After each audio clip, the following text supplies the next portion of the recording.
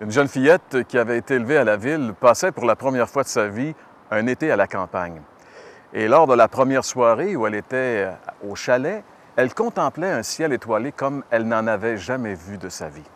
Et tout à coup, elle se tourne vers sa maman et lui dit, Si le ciel est si beau de son mauvais côté, comme il doit être merveilleux de son beau côté. Évidemment, tous ne sont pas aussi candides que cette petite fille en ce qui concerne le ciel.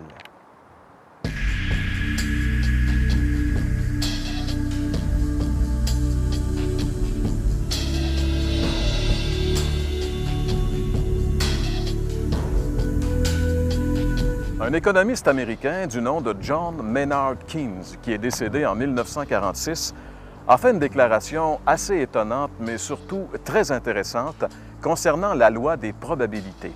Il a dit, et je cite, On a déjà montré qu'aucune connaissance des probabilités nous aide à savoir quelles sont les conclusions qui sont justes et qu'il n'existe aucune relation directe entre la vérité d'une proposition et sa probabilité. Les probabilités commencent et finissent avec les probabilités. Fin de la citation. En ce qui nous concerne, ça veut simplement dire qu'il serait futile et même très dangereux de se fier sur les probabilités pour aller au ciel. C'est ce dont nous voulons vous parler aujourd'hui, à l'heure de la bonne nouvelle.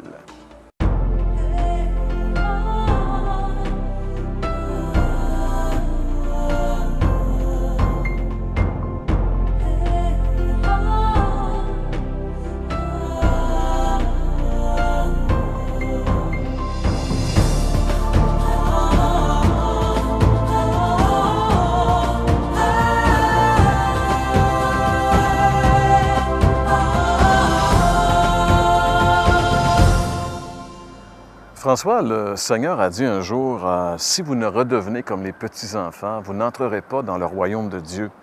Et quand je pensais à cette citation de la fillette dont on a parlé au début de l'émission, euh, cette simplicité, cette naïveté, mais il y a quand même un fond de, réalité. Hein? Euh, elle voyait que c'était merveilleux, puis certainement qu'elle se posait même pas la question de savoir comment faire pour y aller. Elle était sûre un jour d'y aller. On peut dire c'est comme une aspiration universelle. Et qui, qui d'entre nous, mettons, voudrait pas aller au ciel? Qui voudrait pas connaître la félicité éternelle, le bonheur, puis enfin être euh, détaché de tous ces mots qu'on connaît dans le monde? Puis en général, je veux dire, je pourrais me remettre dans la peau de cette petite fille-là. En général, ce qu'on pense quand on est jeune, et, et même plusieurs personnes persistent à le croire, c'est que finalement, ce qui va nous permettre d'aller au ciel, c'est la mort. Mais ça, c'est une drôle d'erreur, par exemple. Mais on a tendance à croire généralement que les bonnes gens, les, gens peut-être même religieux, ont plus de chances d'aller au ciel que, les autres. Et puis ce qu'on voit dans la parole, il y a un verset où Jésus euh, euh, a une réponse assez claire concernant euh, la vérité par rapport au ciel. les gens ont demandé, par exemple, quelle est, quelles sont les œuvres que nous devons faire pour faire la volonté de Dieu ou aller au ciel, pour accomplir l'œuvre de Dieu, c'est ça. Et puis Jésus a répondu que l'œuvre au singulier plutôt qu'au pluriel, justement, l'œuvre de Dieu, c'est que vous croyez en moi. Donc, plutôt que de faire quelque chose pour nous ouvrir la porte du ciel, c'est croire quelque chose. Puis ça, c'est exactement contraire à, la nature humaine, c'est contraire même, d'une façon générale, à l'enseignement de la religion. L'Évangile, c'est vraiment l'opposé de, de ça, Jean-Pierre. Ce n'est pas faire des choses, mais c'est croire que l'œuvre qui nous permet d'aller au ciel a été parfaitement accomplie quand Jésus est mort sur la croix. Il a dit d'ailleurs, tout est accompli. Et un jour, Jésus a dit, je suis le chemin, la vérité et la vie. Quand on dit que ce n'est pas nécessairement la mort qui nous mène au ciel, c'est parce qu'on veut simplement dire qu'au moment de la mort, il y a pour nous deux possibilités. Il y a le ciel, mais il y a aussi l'enfer. Et ça, on n'aime pas en parler, on n'aime pas y penser, mais la Bible dit. Et pour être certain d'aller au ciel, c'est de prendre le seul chemin qui y mène. C'est bien sûr Jésus qui a dit, Je suis le chemin, la vérité et la vie. Nul ne vient au Père que par moi. Si vous voulez être certain de votre destination éternelle, confiez-vous en Jésus. Si vous voulez continuer à réfléchir sur cette vérité quand même très importante, on vous invite à faire venir la littérature que nous vous offrons gratuitement et pour ce faire, vous n'avez qu'à prendre l'adresse qui va apparaître à l'instant.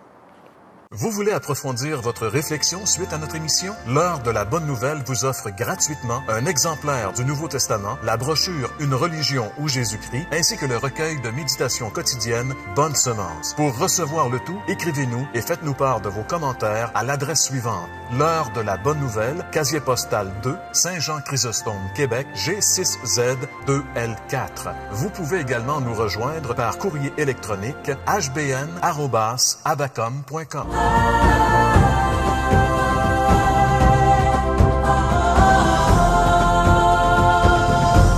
Moi, je suis un retraité de Bel-Canada. Et puis, euh, je suis le plus jeune d'une famille de sept enfants, quatre garçons, puis trois filles. Et puis, mon père, quand j'avais, disons, à peu près 5, 6 ou 7 ans, mon père, un soir, qui était, mon père était catholique, très pratiquant, il a rencontré un de ses amis. Puis, l'ami lui a parlé de Jésus. Jésus qui était mort pour lui à la croix, puis alors, il semble que mon père se serait repenti de ses péchés ce soir-là, puis qu'il aurait accepté Jésus dans sa vie. Bon, on ne comprenait rien là-dedans, nous autres. Et puis, euh, un soir, ah oui, il me parlait souvent de tout ça, c'est puis un soir, il me parlait à moi, et puis j'avais peut-être 12-13 ans à ce moment-là, mais je ne me souviens pas du contenu de la conversation. Alors, euh, je sais une chose, j'ai été touché par ce qu'il m'a dit, puis quand j'ai été me coucher, j'ai prié Dieu. Et puis là, j'ai pleuré. Et puis je me suis endormi. Mais j'ai remarqué qu'après ça, j'ai toujours eu comme le goût de lire la Bible. J'avais l'intérêt pour lire la Bible. Et puis nous, ben, moi, je me suis marié, tout ça, on était une famille euh, normale, c'est pratiquant. Moi, j'étais un catholique pratiquant. Pratiquant, mais j'avais, je tolérais aussi bien le mal que le bien dans ma vie. Mais j'allais à messe, tout ça, et puis euh, je m'impliquais, puis je lisais ma Bible. Euh, au niveau de la famille, euh, ma femme avec moi, puis on n'est pas infidèles l'un à l'autre. On était une famille normale. Et puis, vers l'âge de 38 ans, là, je lisais toujours ma Bible, mais là, j'ai commencé à la lire plus sérieusement. Là, là, c'était pas la même chose. Et puis, il s'est fait comme. J'ai découvert des choses. Dieu s'est manifesté à moi d'une autre façon, par la lecture de la parole de Dieu, de la Bible. Là, il s'est développé une forme de, de relation avec Dieu, plutôt, parce qu'avant, c'était comme la religion. Dieu était dans ma vie avant, mais comme au travers de la religion. Il était enrobé de religion, autrement dit. Puis là, là, mais c'était une relation que j'avais avec Dieu qui se développait de plus en plus. Je commençais à comprendre des choses que je ne comprenais pas auparavant. Puis on a rencontré un pasteur euh, évangélique, chrétien évangélique, puis lui nous expliquait la Bible. Et là, j'ai réalisé, j'ai commencé à comprendre comment est-ce que Dieu m'aimait. J'avais jamais compris ça auparavant. Comment est-ce qu'il m'aimait à ce point-là? Puis comment est-ce que son fils était mort pour moi, il était mort pour mes péchés. Et Dieu voulait que je sois réconcilié avec lui. Mais ce n'était pas possible de l'être. Mais lui, il avait tout fait pour que je sois réconcilié avec lui. Mais il fallait que je me repente de mes péchés. Il fallait que je confesse mes péchés. Puis il fallait que j'accepte le seul moyen de salut que Dieu mettait à ma, ma disposition, là c'était la mort de son fils sur la croix. Alors là, on s'était, impliqué dans l'Église, et puis ainsi de suite, et puis on devenait de plus en plus impliqué, puis là, je comprenais des choses. C'était comme un processus, comme des choses, pareil comme si la lumière s'allume tranquillement. C'est un rayostat, la lumière s'allume. À chaque jour, je comprenais des nouvelles choses dans ma vie. Et puis je découvrais l'amour de Dieu, l'amour que j'avais jamais vraiment compris, moi, auparavant.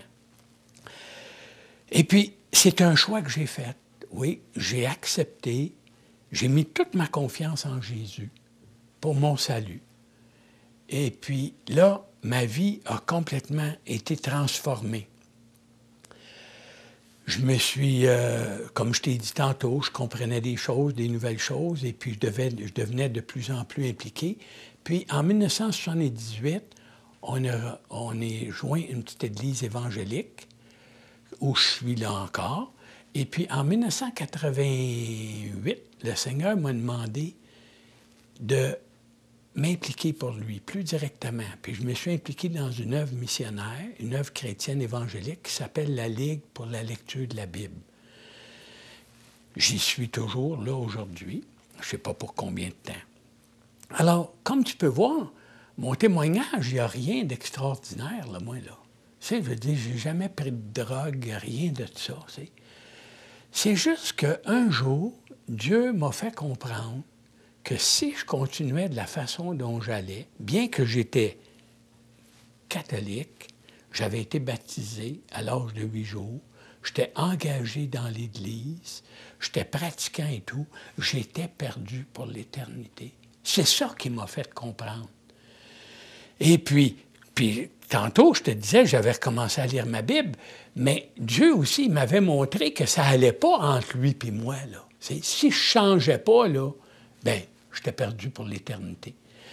Alors, ça se résume à ça. Fait lui m'a présenté le moyen de me réconcilier avec lui. Il avait tout fait, lui.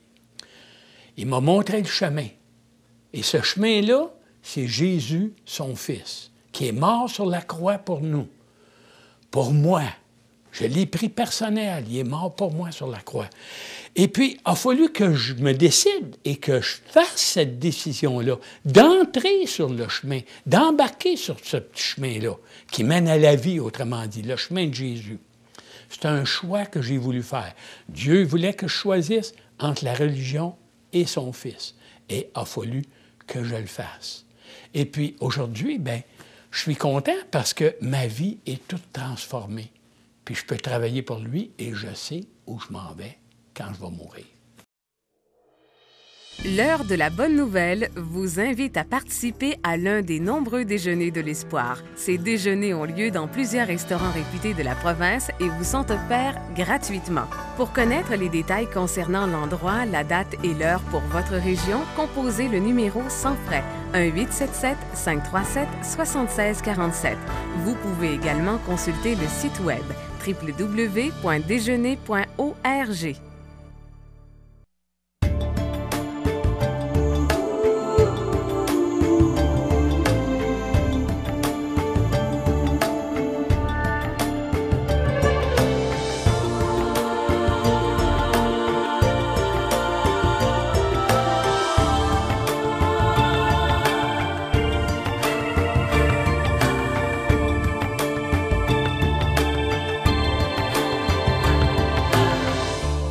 Dans le cadre de la série cette année qui s'appelle Une bonne nouvelle dérangeante, nous allons aborder aujourd'hui le thème Une bonne nouvelle choquante. Vous savez, le Seigneur est obligé très souvent de bousculer les préjugés que nous nous faisons. Et parmi ces nombreux préjugés, il y en a un qui est celui de juger les autres sur l'apparence. Si par exemple on voit une personne qui fait des bonnes œuvres religieuses, qui semble avoir une vie plutôt morale, on en déduit que certainement cette personne est en bonne règle, en bonne condition avec Dieu. Par contre, si on voit une personne aux mœurs plutôt légères, euh, une vie plutôt louche, on en déduit que c'est fort probable que cette personne-là n'ait aucune relation avec Dieu. On juge donc sur ce qu'on voit. Et ça, c'est très dangereux. Et le Seigneur Jésus, un jour, a conté une histoire, une parabole. Vous savez, Jésus utilisait toujours les choses simples de la vie les choses dans lesquelles chaque personne pouvait se reconnaître pour identifier des, des, leçons spirituelles très importantes pour nous. Et ce jour-là, il a parlé de deux hommes qui montaient au temple pour prier. Deux hommes très différents. Un qui était hyper religieux, qui était parti de, la secte des pharisiens, qui faisait partie de la secte des pharisiens, et un autre qu'on appelle un collecteur d'impôts, un publicain, un homme dont la vie était de collecter les impôts, dont par définition, on s'imaginait qu'il était voleur, qu'il en mettait dans ses poches. Et ces deux hommes avaient une attitude très, très, très différente face à Dieu. Et c'est ce que le Seigneur nous dit. Et j'aimerais qu'on lise ensemble ici, justement, dans l'Évangile de Luc, chapitre 18, les versets 11 et 12 qui nous donnent euh, la prière de ce pharisien. Il dit ceci. Le pharisien debout priait ainsi en lui-même, Ô Dieu, je te rends grâce de ce que je ne suis pas comme le reste des hommes, qui sont ravisseurs, injustes, adultères, ou même comme ce publicain. Je jeûne deux fois par semaine, je donne la dîme de tous mes revenus. C'était la prière de ce pharisien. Voici maintenant la prière du collecteur d'impôts, du publicain. Verset 13. Le publicain se tenant à distance n'osait même pas lever les yeux au ciel, mais il se frappait la poitrine en disant, Ô Dieu, sois apaisé envers moi, qui suis un pécheur. En réalité, comme les gens à qui Jésus s'adressait, nous aussi, on a la fâcheuse habitude de juger sur l'apparence, de porter un jugement sur l'apparence. Et si on voit ce genre de personne, euh, comme ce pharisien qui fait beaucoup de bonnes œuvres, alors on en déduit forcément qu'il est en bonne relation avec Dieu, que ça va bien avec Dieu. Et on, on juge le contraire sur l'autre personne, comme on vient de le voir. Mais Jésus nous dit de faire très attention à ce passage. Parce que, euh, bien sûr, les bonnes œuvres, aider les autres, c'est bon, euh, et personne ne pourra dire que c'est mauvais. On peut penser, par exemple, à, cette dame qu'on appelait euh, Sœur Teresa, Mère Teresa, qui, qui a fait énormément de bien auprès des gens. Donc, on ne peut pas remettre en question les bonnes œuvres que les gens font. Mais, vous savez, pour Jésus, ce qui est important, c'est pas ce qu'on fait, mais pourquoi on le fait. Et ce que le Seigneur est en train de nous enseigner dans cette parabole ici, c'est quelque chose qui peut nous choquer jusqu'à un certain point, parce que la, fin de la parabole se termine en disant que celui qui a été justifié, c'est pas ce pharisien qui se vantait de toutes ses bonnes œuvres, mais c'est ce publicain qui n'osait même pas lever les yeux vers le ciel et qui disait simplement à Dieu, Sois apaisé envers moi qui suis un pécheur. Vous savez, mes amis, le, le drame de la religion, c'est que ça amène l'homme à devenir un être orgueilleux. Dans l'épître qu'il écrit aux Éphésiens, l'apôtre Paul dit ceci. C'est par la grâce que vous êtes sauvés par le moyen de la foi, et cela ne vient pas de vous, c'est le don de Dieu. Ce n'est point par les œuvres, afin que personne ne se glorifie. Pourquoi est-ce que Paul dit ça? Parce que justement, les bonnes œuvres amènent l'homme à se glorifier. Si vous prenez la prière de ce pharisien, je, je, je, c'est toujours lui qui est en premier. J'ai fait ci, je fais cela, je jeûne, je donne ma dîme, je, vais à tous les services religieux, alors que, l'autre ne peut même pas lever les yeux vers le ciel. Les, les bonnes œuvres ont cette tendance de rendre les hommes malheureusement orgueilleux, hautains, remplis d'eux-mêmes. Et en réalité, la réalité, que nous, on ne peut pas voir avec les yeux, mais que Dieu voit, parce que lui voit le cœur des hommes, c'est que ces individus qui semblent à nos yeux être si près de Dieu sont vraiment très, très loin de lui.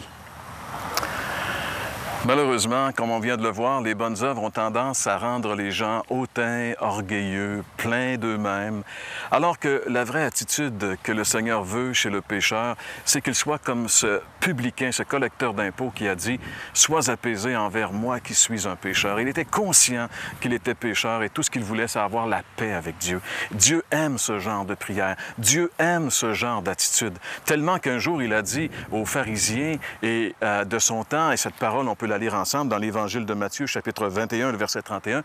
Jésus a dit ceci, Les publicains et les prostituées vous devanceront dans le royaume de Dieu. C'est une parole très choquante qu'il a dit à ces gens religieux. Il a, dit en regardant les publicains qui étaient considérés comme les parias de l'époque et les prostituées, il a dit ces gens-là vont vous devancer dans le royaume de Dieu. Pourquoi? Et parce qu'ils ont été beaucoup plus réceptifs à la parole et à la personne de Jésus que ces gens remplis d'eux-mêmes qui n'avaient pas besoin de Jésus. Il y avait tout dans leur religion. Ils se croyaient corrects. Alors que la Bible dit que pour être sauvé, c'est pas de faire des choses, mais c'est de croire uniquement ce qui a été accompli par Jésus à la croix. Cette parole, on la lit dans l'Évangile de Jean. Un jour, les gens ont demandé à Jésus, que faut-il faire? Quelles œuvres faut-il faire euh, pour faire les œuvres de Dieu? Et Jésus leur a répondu en disant, l'œuvre de Dieu au singulier, c'est que vous croyez en celui qui l'a envoyé. C'est dans l'Évangile de Jean, chapitre 6, les versets 28 et 29. Ça peut peut-être vous paraître choquant aujourd'hui, que d'entendre que finalement, ceux qui vont être sauvés, ce ne sont pas nécessairement les gens religieux, mais ceux qui se reconnaissent pécheurs devant Dieu. Mais c'est ce que la Bible dit. Il faut s'humilier devant Dieu et reconnaître que la Bible dit que nous sommes pécheurs et perdus et se tourner vers le Seigneur. Et quand on le fait sincèrement, on expérimente la chose la plus merveilleuse, on expérimente le salut de Dieu. On peut dire après cela, je suis sauvé, j'ai la vie éternelle. Dans l'Évangile selon, pardon, dans l'Épître de Paul aux Romains, chapitre 3, les versets 23 et 24, il est dit, au verset 23, il est dit euh, ceci, c'est un verset qu'on utilise très souvent, dont on, on, vous parle très souvent. Tous ont péché et sont privés de la gloire de Dieu. Mais le verset 24 dit, ils sont gratuitement justifiés par sa grâce, par le moyen de la rédemption qui est en Jésus-Christ. Ils sont gratuitement justifiés. Pourquoi c'est gratuit, le salut? Parce que Jésus l'a lui-même complètement et entièrement payé à la croix. Lorsque Jésus était sur cette croix il y a 2000 ans, la Bible dit qu'il a pris tous mes péchés et tous vos péchés, et que là, sur la croix du Calvaire, il est passé en jugement à notre place. Et si nous voulons que nos péchés soient pardonnés, si nous voulons avoir dans cette vie une nouvelle vie, une nouvelle assurance, et si nous voulons faire face à l'éternité, parce que, que vous le vouliez ou non, chacun d'entre nous, un jour, nous allons mourir, et ce jour-là, on va faire face à la réalité spirituelle, mes amis. Qu'on la nie ou qu'on la nie pas, dans ce monde, beaucoup de gens nient cette réalité. Dieu existe, le ciel existe, l'enfer existe. Et la seule façon d'éviter l'enfer, c'est de se mettre en règle avec Dieu maintenant. Et la seule façon de se mettre en règle avec Dieu, c'est de reconnaître, comme ce collecteur d'impôts, ce publicain, que nous sommes pécheurs. Sois apaisé, ô Dieu, envers moi qui suis un pécheur. Et de réaliser que sur la croix, Dieu a payé pour nous. Dieu a fait propitiation. Dieu a fait tomber sur son Fils le châtiment qui nous donne la paix. Il n'y a d'espoir qu'en lui et qu'en lui seul. Oui, la bonne nouvelle, c'est un peu choquant parce que ça vient bousculer l'idée que nous avons de la religion. Mais acceptons d'être bousculés par la bonne nouvelle afin d'expérimenter la bonne nouvelle?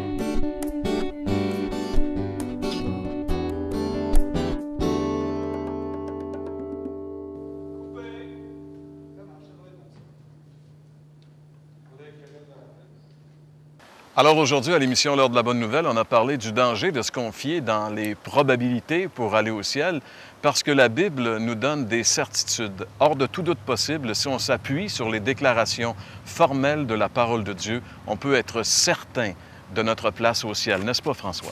Jean-Pierre, si, si quelqu'un vous demandait de gager votre maison pour, au hasard, il n'y a pas beaucoup qui embarqueraient là-dedans, littéralement, de, de, partir de rien puis dire je gage ma maison, puis hop, paire. il n'y a pas beaucoup qui feraient ça. Mais quand il est question de l'éternité, il n'y a vraiment pas de place pour le hasard puis les probabilités. Et puis la Bible parle clairement de textes qui, nous montrent qu'il y a une certitude. L'apôtre Jean, dans sa première épître, le chapitre 5, il dit Je vous ai dit ces choses afin que vous sachiez que vous avez la vie éternelle, vous qui croyez au nom du Fils de Dieu. De telle sorte que ce n'est pas le hasard, mais l'apôtre, comme on peut dire, a écrit dans ce but précis que nous puissions savoir qu'on a la vie éternelle. Absolument. D'ailleurs, on pourrait dire que euh, le premier livre de, Jean, l'Évangile de Jean, nous dit comment faire pour être sauvé. Hein. Le verset central, Dieu a tant aimé le monde qu'il a donné son Fils unique, afin que quiconque croit en lui ne périsse pas, mais qu'il ait la vie éternelle.